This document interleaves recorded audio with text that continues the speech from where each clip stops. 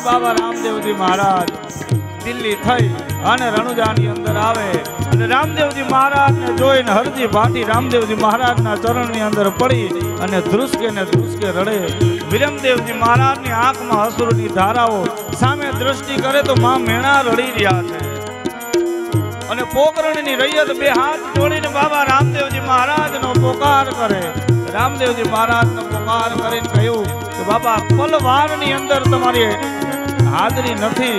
અને આ ઘટના બની ગઈ ને ત્યારે રામદેવજી મહારાજે કહ્યું કે ભૈરવ જેવા ભૈરવના દૈત્યના મુખમાંથી જો આ પૃથ્વીને મેં નિર્ભય કરી, તો આ બાદશાહ તો સામાન્ય મનુષ્ય છે. પલવારની અંદર એને દંડ આપો. અને કહેવાય કે રામદેવજી મહારાજ અને બાદશાહની વચ્ચે ધમાસાણ યુદ્ધ થાય. અને ધમાસાણ યુદ્ધ થતા રામદેવજી મહારાજ ભાલાની અણી બાદશાહને પછાડે અને માથે ઢોલીઓ અને ઢોલિયા ઉપર રામદેવજી મહારાજ પોતે રમત રમે. અને અહીંયા કહેવાય, બાદશાહની બેગમ જેનું નામ છે હુરમા અને હુરમા પોકાર કરે છે રામદેવજી મહારાજને.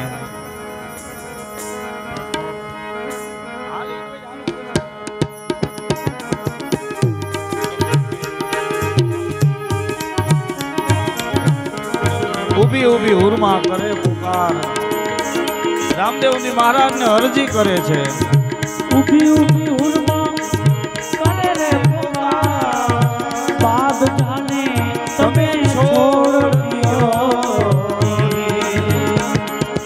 હે રામદેવજી મહારાજ એક અબળા સ્ત્રીની જાન તમે લૂંટતા બચાવી, બેન સગુણાને તમે બચાવી, તો દુનિયાની બધી સ્ત્રી તમારી બેન છે. આજે હું હુરમાં પણ તમારી બેન છું ને જીભનો માનેલ ભાઈ તમને માનું છું. તમે મારા બાદશાહને છોડી દો તો કહેવાય, દિલ્હીની શહેરની અંદર તમારું દેવળ રચાવું અને દેવળની ઉપર સોનાનું છત્ર ચડાવવું દિલ્હી શહેરમાં સોનાના ઉપર છત્ર ચડે.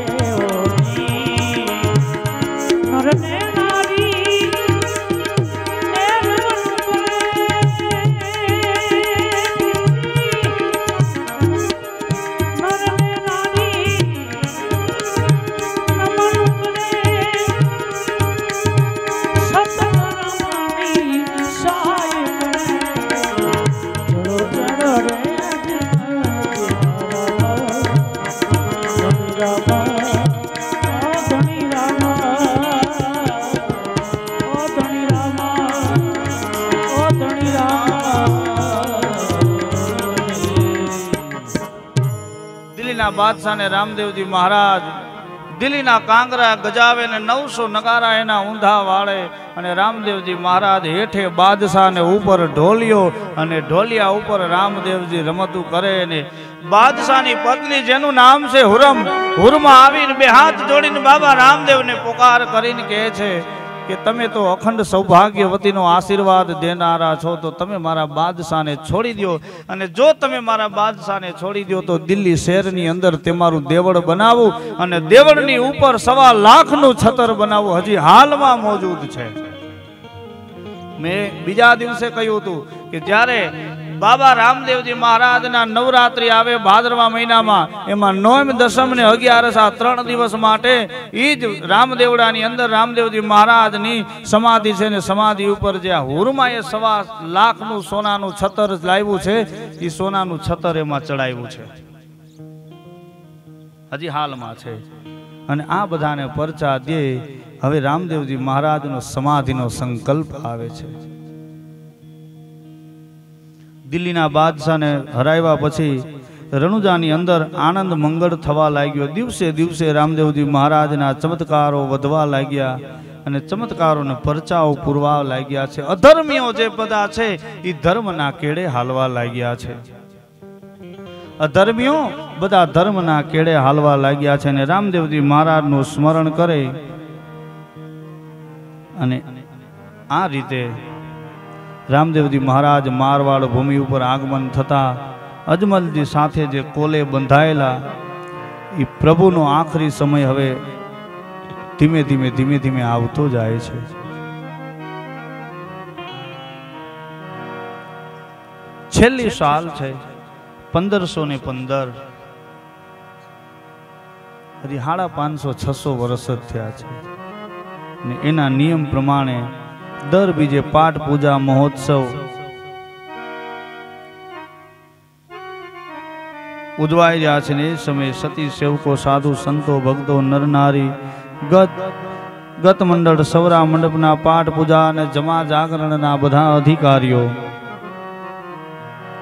એને રામદેવજી મહારાજ સંકેત કરે છે ને કહે છે કે, હે સનાતનના ધર્મના અનુયાયીઓ, હવે તો હું પલવારની અંદર પડદે પરિણય કરવાનો છું. રામદેવજી મહારાજે મનની અંદર સમાધિનો સંકલ્પ લીધો અને આ બાજુ રાત્રે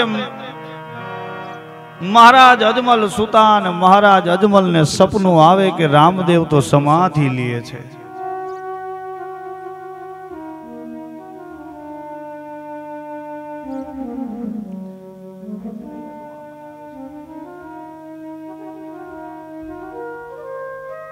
મહારાજ અજમલ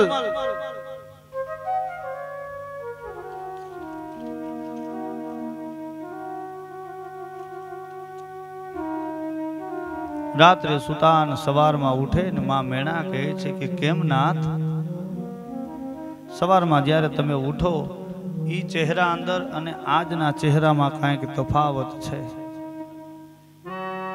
આટલું માં મેણાએ પૂછ્યું ને મહારાજ અજમલની આંખમાંથી આંસુ વહેવા લાગ્યા છે. કહે છે કે, દેવી, રાત્રે મને એવું સપન આવ્યું સ્વપ્ન કદાચ જો હું આપની સમક્ષ રજૂ કરું તો મારી આંખની અંદરથી અશ્રુની ધારાઓ વહે છે. કેમ નાથ આવી વાત કરો છો? તો કે મને સપના આવ્યો ને સપનાની અંદર રામદેવ સમાધિ લે છે. આટલું કેતા માં મેળાને આઘાત લાગી જાય છે. અને અહીંયા રામદેવજી મહારાજ જે સનાતન ધર્મના અધિકારીઓ, નર, નારી, આદિ ધર્મના અધિકારીઓ છે એને બધાને છેલ્લો ઉપદેશ આપે છે. કે હે સનાતન ધર્મના અધિકારીઓ, આપ સૌને આ સનાતન ધર્મનો પંથ હું તમને બધાને સોંપીને જાઉં છું. અને હવે મારે પડદે પરિણય કરવાનો સમય આવી ગયો છે. મારો સમય અહીંયા પૂરો થવાનો છે.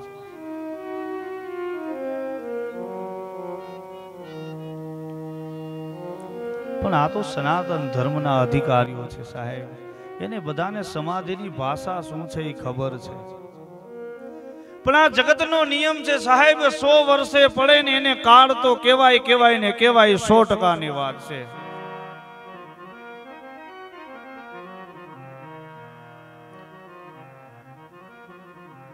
પિતા અજમલજી આવે ને અજમલજી રામદેવને કહે છે કે, રામદેવ, આજે રાત્રે સ્વપ્નની અંદર મને આવું સપનું આવ્યું ને ત્યારે કહ્યું કે, પિતાજી, આપનું સપનું સવારમાં સત્ય પડવાનું છે કાલે. આટલું કીધું ને મહારાજ અજમલને આઘાત લાગ્યો. મહારાજ અજમલને આઘાત લાગ્યો ને ત્યારે સ્વયં રામદેવજી મહારાજે શંખ ચક્ર ગદા પદ્મધારી પોતે દ્વારકાધીશનું સ્વરૂપ બતાવીને કહ્યું છે કે પિતાજી, જ્યારે આપ પુત્ર રૂપે બે વચન માંગવા આવ્યા ને ત્યારે જ મેં આપને કહ્યું હતું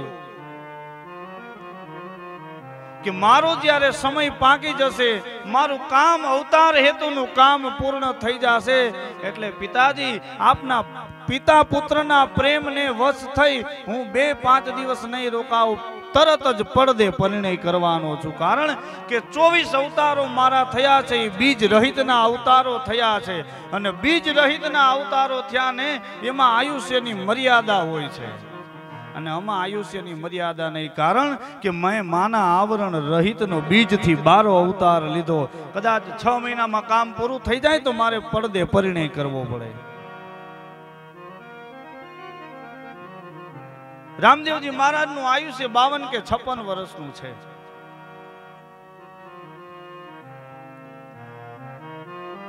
અને અહીંયા રણુજાની અંદર ને પોખરણીની અંદર ને સૌરાષ્ટ્ર ને ગુજરાતથી માંડી અને બધે સમાચાર વાયુ વેગે ફેલાવાના કે કાલ તો રામદેવજી સમાધિ લઈ રહ્યા છે.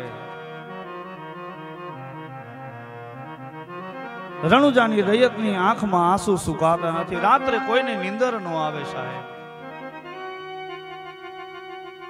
હરેક હરિના અવતારોની અંદર જ્યારે પ્રભુની છેલ્લી વેળા છે, પ્રભુની અંતિમ વેળા છે ને ભગવાન આખી દુનિયાને રડાવીને ગયો છે સાહેબ. કૃષ્ણએ આખા જગતને રડાવ્યું છે. પ્રાચીના પીપળાની નીચે જ્યારે ભગવાન કૃષ્ણને જરા નામના પારાધીએ જ્યારે બાણ માર્યું, ત્યારે દારૂક નામનો સારથીને કહ્યું, એને ખબર હતી કે દારૂક જ્યાં સુધી હશે ત્યાં સુધી મારા પ્રાણ નહીં જાય દારૂકને કહ્યું કે, દારૂક,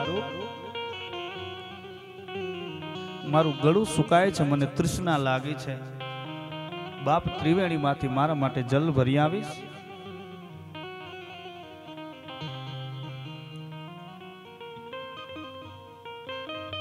ત્યારે દારૂ બોલ્યો છે, પ્રભુ, મને બધી ખબર છે, તમે શેનો સંકેત કરું છું? પણ હું તમારા માટે જલ ભરવા જાઉં. પણ પ્રભુ, જો તમે મને છોડીને એકલા ચાલ્યા ગયા તો મજા નહીં આવે. ત્યારે ભગવાન કૃષ્ણે દારૂકને કહ્યું છે કે, જીવન, મરણ, જસ, અપજસ, આ બધું હરિના હાથમાં છે. આપણા હાથમાં કાંઈ નથી. હું તો એક સામાન્ય મનુષ્ય યોનિની અંદર અવતાર લઈને આવ્યો છું. ઈ જ્યારે દારૂક જાય જલ ભરીને આવે અને આ બાજુ ભગવાન કૃષ્ણ પ્રાચીના પીપળાની અંદર, અંતઃપરણની અંદર પોતે આરામ કરી રહ્યા છે. પગ ઉપર પગ ચડાવ્યો, પડછાયાની અંદર જેને શિકારીને મૃગ જેવો આકાર દેખાણો. અને ભગવાને સંકેત કર્યો કે, હાલ ધારો રામા અવતારની અંદર જ્યારે તું વાલી હતો, મેં તને પીછેથી પાછળથી બાણ માર્યું ઈ ઋણ મારું તારી માથે રહી ગયું. આ અવતારની અંદર તું મારું ઋણ ઉતારી દે અને તુંય છૂટો ને હુંય છૂટો. એ જરા નામનો પારાથી આવે અને કહેવાય કે ભગવાન કૃષ્ણના જમણા પગથી એ બાણ માર્યું અને ભગવાનના છાતીમાં વાગ્યું અને ભગવાન હરિ શ્રી હરિ શ્રી હરિ શ્રી હરિ કરતા કરતા કરતા કહેવાય કે ભગવાનની જ્યોત ઝાંખી પડવા માંડી. જ્યોત ઝાંખી પડે ને દારૂક નામનો સારથી જોઈ જાય ને ગડગડતી દોટ મૂકી અને પ્રભુના ચરણની અંદર પોતાના મસ્તક પછાડે ને કહ્યું કે, પ્રભુ, મેં આપને પહેલા કહ્યું હતું કે, તમે મને છોડીને ન જાઓ. પ્રભુ, આપે મને દગો દીધો છે.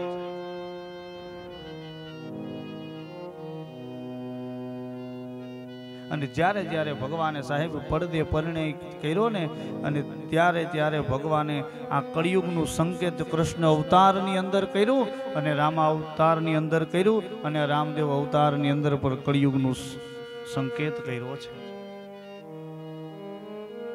એ દારૂકે કહ્યું કે પ્રભુ, તમે જાઓ પણ મારા બે પાંચ વાતના જવાબ તો દેતા જાઓ. તો કે પ્રભુ, આપ વિનાની આ સુની નગરી છે. તો અમારે તમારું ભજન કરવું હોય ત્યારે, અને ત્યારે કૃષ્ણએ કહ્યું કે જ્યારે વનરા વનની અંદર ગોપીઓ સાથે છેલ્લી મારી રાસ લીલા ત્યારે ગોપીઓને મેં વરદાન આવ્યું પણ અત્યારે આખા જગતને હું વરદાન આપું કે જ્યારે જ્યારે તમે ભાવથી કૃષ્ણને યાદ કરો ને આંખ બંધ કરો, ત્યારે કૃષ્ણ તમારી પ્રત્યક્ષ હશે. આ તમને વરદાન આપું છું. બીજી વાત સાચી, પણ પ્રભુ તમારા સ્વરૂપના દર્શન કરવા હોય તો, અને ત્યારે ભગવાન કૃષ્ણએ કહ્યું કે મારું તપોબળ અને મારું જે કાંઈ પણ આયુષ્ય છે, એ બધું મારા આયુષ્યનું તપ હું શ્રીમદ ભાગવત ગીતાની અંદર છોડીને જાઉં છું. ભાગવતની અંદર પોતાનું બધું તપોબળ છોડીને જાય છે.